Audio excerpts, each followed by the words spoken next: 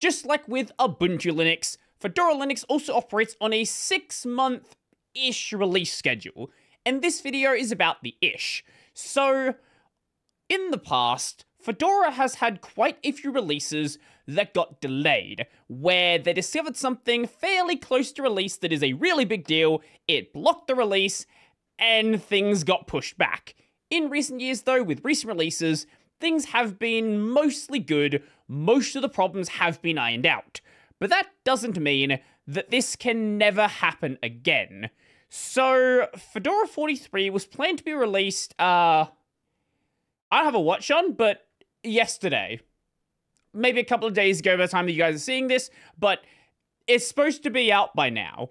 And from the distinct lack of Fedora 43, you probably realize that didn't happen. So the other day, this was announced. Fedora Linux 43 Final is no-go. Due to outstanding blocker bugs and insufficient testing coverage, Fedora 43 Final RC 1.4 was declared no-go in today's go slash no-go meeting. The next Fedora 43 Final go slash no-go meeting will be held at 5pm UTC on Thursday, October 23rd in the Fedora meeting on Matrix. We will now aim for a release on target date number 1 of Tuesday, October 28th, 2025. The release schedule has been updated accordingly. Hi there, Editing Brodie here. Since the recording of this, that date has actually been confirmed as the new release date. But I still think there's something interesting to learn here about what kind of bugs block a Fedora release. Now, this video isn't to hate on Fedora to say, oh, this shouldn't have happened, how dare you delay a release. If you need to delay the release, that's fine. It's much better to delay a release than release a broken version. New bugs are always going to be discovered, but you want to make sure that nothing obviously broken is in the thing you ship to people. So what kind of bugs do you need to have to cause a Fedora release to be blocked? Well, luckily, we have a bug list. Now, there's some other things in here that are not just blockers. There is also going to be freeze exceptions. These are changes that are not necessarily required, but are nice things to get into the new version. Things like updating the LXQt session, KDE gear. There's some like minor little issues here which might sound important in some cases like this one, but they affect things which are not blocking releases of Fedora. It might be things on spins or on niche versions of Fedora which are important, but not enough to block the entire release. I want to just focus on the things which are actually blocking the release, the things which are saying, hey, we cannot release until we do this. Up the top here, we have our proposed blockers. These are things which are not fully set as a blocker. Maybe it's a blocker, maybe it's a freeze exception. No one's really sure yet. Maybe we'll just delay it till the actual release and deal with it later. This one is actually kind of contentious. As for the actual accepted blockers, when Phoronix first covered this, there was 10. Then when I planned my video, there was 4, and now we're back up to 5. Also, sometimes you will see something on here which was once accepted as a blocker, but then you go and check it, and it's now a freeze exception. So I don't know exactly how they justify that. You do a vote, you accept it, and then it gets rejected later. I don't really understand why it's done like that, how that happens, but Anyway, these are the currently accepted blockers. Number 1. 7z cannot find library when invoked with full path. Codec load error slash user slash bin slash 7z.so error number 2. No file or directory. This seems to be related to trying to unarchive something using Ark on KDE. This is a weird regression, and it doesn't seem to happen when running it directly only through doing it like that. So it's a problem. It's a big problem. And, you know, having a broken functionality in what is now a major version of Fedora is a really big deal. KDE, drop down menu in Anaconda does not work. So it was doing this, which is obviously not correct. Um, and not being able to change any of these settings is kind of a big deal. I've not tested it myself. Maybe you could have like tabbed through the list or something like that. But obviously that's not intended and that's like a fallback for a broken system or it's an accessibility feature. It shouldn't be something you have to use if there's drop downs, the drop down should work. Default host only mode sloppy results in significant increase in initramfs size. This was leading to people that had small boot partitions running out of space. And when you run out of space in your boot partition, um, that's gonna cause boot issues, so you definitely don't want users to have that one. Regression in MediaTek MT7922 Wi-Fi.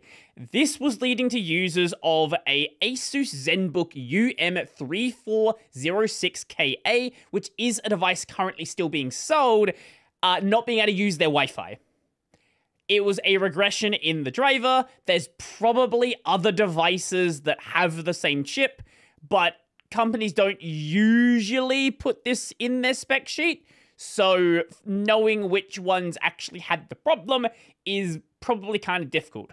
I would assume the other Asus ZenBooks also have the same problem. And firmware device tree fallback doesn't appear to be working. This was leading to boot issues with a Raspberry Pi 4, which again is a pretty big problem. The Raspberry Pi 4 isn't like a weird, obscure device, so you kind of want to make sure things are actually working on it. Now, as I mentioned earlier, the freeze exceptions here, these are things which are nice to have, but not necessarily crucial to fix. Some of these might sound really important, but when you're going to actually look at what is happening, it's a weird niche use case. It's something which you know, doesn't need to be fixed right away or doesn't need to be considered a general blocker, but I do want to talk about the already accepted fixes. Now, the way Fedora handles listing these is a bit weird. They don't actually list the ones that have been fixed on this page. However, doing a bit of digging through the bug tracker, we can see how things are tagged together. Everything that has been marked as a blocker, even the blockers that have already been fixed, have been given the blocker tag. This means all of them are linked together. I'm not going to show every single one of them, just the ones I think are notable and the ones I think are interesting. Also, some of these might have been closed after the fact without actually being fixed. Also, some of these might be earlier, where they are a blocker, but they weren't a blocker that delayed the release. They're a blocker from some time earlier that already got dealt with. Firstly, the partition resize slider is broken for certain languages, so this user was reporting the issue from a Czech system, but it also happened in French, German, and Spanish, but it didn't happen in English and a bunch of other languages. The likely cause here was the decimal comma. I guess for some reason there was a regression where it stopped recognizing having a comma in the decimal location as a valid number. That caused it to break, and now we're here. Then we have a Radxa Rock Pi 4 and Pine64 Rock Pro 64 boards failed to boot with current Fedora 43 images. So this is one where there was a separate issue which was related to a server boot issue on ARM64 hardware and it seems like all of these things are connected. So this became the more wider issue. It was originally discovered with these systems, but it was actually a wider ARM64 issue, and a lot of those systems just were not booting on Fedora 43. Input source menu not available for IAM after GNOME initial setup. So if you're a user of a CJK language, for example, and you want to be able to type in your language, you kind of need your IAM to be working. So all of those users basically, um, basically couldn't do anything on GNOME before this was fixed. System freeze when touching quick menu sliders, volume and brightness with a touchscreen. Now, touchscreens are still not the most popular thing on the desktop, but having your entire system lock up when you do have one not a good thing. Not a good thing, especially when the environment says it supports a touchscreen. Fedora 43 installers show as pre-release. So basically, the installer, even though it was supposed to be showing as a full version, it still said it was an early version, even though the build option to say this is the full version had been set. This might not sound like that big of a deal, and frankly, it isn't, but they do have a policy against showing warnings like pre release warnings and things like that in cases where they are not valid. Rescue mode fails to mount boot and boot EFI. Now, you could always just go and mount it yourself, but the point of a rescue mode is to be able to recover a broken system, so having additional things that are breaking alongside the thing that you're actually worrying about breaking, very annoying. Now, this may have been an intentional change, but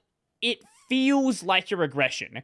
It's a thing where, yes, it might make sense, but at the end of the day, the user is the one that has to deal with it, and if it feels wrong to the user, it's probably wrong. Now, some of these might not be blockers for you, and that's totally fine. If you want to run an early version of Fedora, hey, be my guest.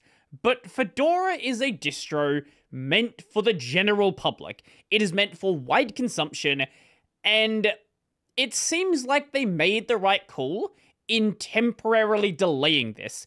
It's probably still going to be out by the end of the month, but if a problem occurs and it needs to be delayed, look, at the end of the day, it's much better to delay it than release it, have a bad first impression, and then try to fix it from there. But what do you think? Do you think they were right in delaying it? Do you think you should just wing it and see what happens?